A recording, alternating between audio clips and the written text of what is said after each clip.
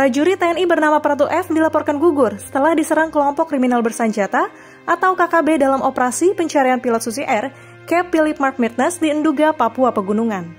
Pratu F adalah korban kelima yang gugur dalam serangan yang terjadi Sabtu 15 April.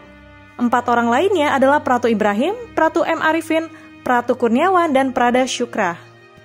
Kapuspen TNI Laksda Julius Wijojono menyatakan Pratu F ditemukan tak bernyawa dalam jurang sedalam 140 meter. Julius mengatakan proses evakuasi Pratu F dilengkapi perlengkapan khusus dengan bantuan helikopter. Di kedalaman 140 meter, tebing yang mengarah ke sungai. Tim gabungan yang lakukan evakuasi dengan heli dan perlengkapan khusus.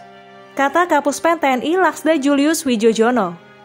Jenazah personel dari Satgas Yonif R 321 garis miring GT Pratu F akan diterbangkan ke Magelang, Jawa Tengah Senin 24 April. Jenazah almarhum Pratu F langsung dievakuasi ke Timika. Selanjutnya dibawa ke RSUD untuk pemulasaran jenazah. Rencana besok Senin 24 April jenazah akan diterbangkan ke kampung halamannya di Magelang. Kabin Penum Puspen TNI Kolonel Sus Aidil. Sementara itu, Panglima TNI Laksamana TNI Yudo Margono kembali menyampaikan ucapan duka yang mendalam atas gugurnya Pratu F. Almarhum gugur sebagai kusuma bangsa.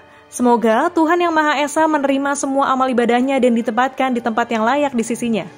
Panglima TNI Laksamana TNI Yudo Margono.